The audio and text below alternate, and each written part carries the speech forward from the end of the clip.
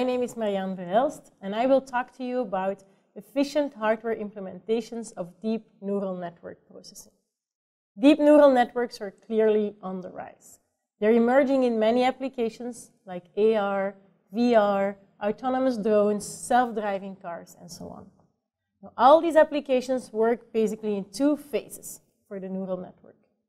First of all, we're going to train the neural network by feeding a neural network with many, many input data items, each with a corresponding correct classification labels. And through a series of backpropagation iterations, we will train the neural network to associate the correct label to every input item. Next, in a second phase, this trained neural network is used and it has, will be provided with new data to which it has then uh, to which it then has to associate a label. Now, this training phase typically still happens on very computationally capable platforms, servers and GPUs.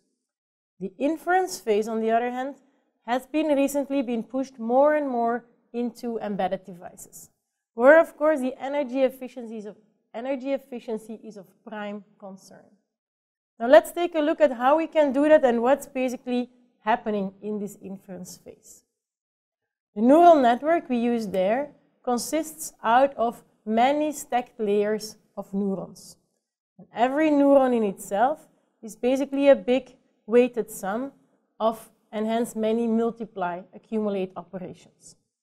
A neural network as such has billions and billions of multiply accumulate operations. It's very important for the remainder of this talk to understand that algorithmic designers are still playing a lot with the dimensions of this neural network. They play with the depth of the network, which means the number of layers you have in the network. They play with the width of the network, which means the dimensions of every layer. And they even play with the structure of the layers and how the layers are interconnected.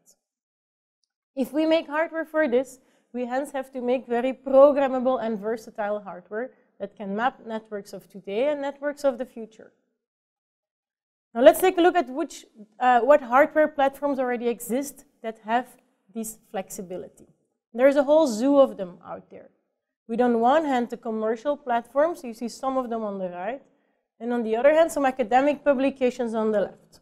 And this is just a sample of what's available today. What you will see is that each of them tries to push, on one hand, the, the throughput of the system. So how many tera operations per second can we do? And on the other hand, it tries to push the efficiency. How many tera operations per second can we do for every watt of power consumption in my system? If we map some of the recent work numerically in this space, you see in gray the commercial solutions or some commercial solutions. In blue, the ISSCC and VLSI publications dealing with convolutional neural network processors of 2016-17, and in red, the CNN, the convolutional neural network processors of ISSCC 2018. Now, I already want to warn you that not every operation in this dot is the same operation, but we will come back to that. Now, each of these devices here tries to push throughput and efficiency with three important pillars. First of all, they all try to reuse data as much as possible. Secondly, they try to skip operations that are not really necessary. And third of all, they try to reduce the computational precision at which they do their multiply accumulate operations. Some implementations in this graph compute in floating point, some commercial things. Many of them compute at fixed point, where the crosses are the 16-bit implementations. The triangles compute at 8 bits, and then some even compute at 4-bit or at 1-bit precision. I will come back to that. This is why not all operations in this graph are the same operations. Now for each of these three pillars, let's see why it helps so much in terms of energy efficiency and also throughput. To understand that, I have to briefly, briefly explain you how a typical architecture of a deep neural network processor looks like. On top, you have a programmable instruction decoder because we want flexibility and programmability towards many different networks. This flexible decoder typically controls a big multiply accumulate array where the weighted sums effectively take place. These, these multiply accumulators get their data fed from an on-chip SRAM buffer and or some off-chip DRAM storage. Because most of the time the networks are too big to fit completely in on-chip memory. It's important to note that fetching data from off-chip DRAM is orders of magnitude more expensive than going to the on-chip SRAM, which in its turn is more expensive than just running a multiply accumulate operation. If we hence want to save energy, you first and foremost have to avoid to have to go too much off chip. And this can be done by smartly buffering parts of the data on the chip and by a good memory hierarchy. Secondly, we also want to avoid having to fetch the same data words multiple times from SRAM. So we want to fetch it once and then reuse it as much as possible in the on-chip MAC array. And this is possible because in deep neural networks, typical, typically the input data is reused across many neurons. And we can hence feed the same data words to multiple multipliers that are dealing with different neuron computations. And in convolutional neural networks, the same weights are also reused across multiple neurons, so also there we can organize data reuse. Of course, this means you end up with highly parallel multiply accumulate structures where many multipliers are instantiated in the data path. The extreme here is the Google TPU, which had more than 65,000 multipliers. Be very, very careful. You can hardwire your neural network on your chip to get the most out of the data reuse and the data structures, but this is not smart because you lose all your versatility to map many different types of networks and the networks of the future. So that's energy efficiency that you do not want to go after. Secondly, you can skip operations that are not strictly necessary. And in deep neural networks, this is possible because many of the weights and data values turn out to be zero inside the network. And of course, if you do a multiply accumulate with zero, it's the same as doing nothing at all. So you can just skip this operation. Secondly, some implementations even try to avoid fetching the zero-valued data word from the SRAM memory by doing smart guarded fetches. And third of all, because there will be so many zeros in my SRAM buffer, the loading and unloading of it will be highly compressible. And you can make a smart DMA that encodes the data with much less bits. The third trick to increase efficiency is to play with the precision at which you do your multiply accumulate operations. Deep neural networks do not at all need floating bit precision in their computes.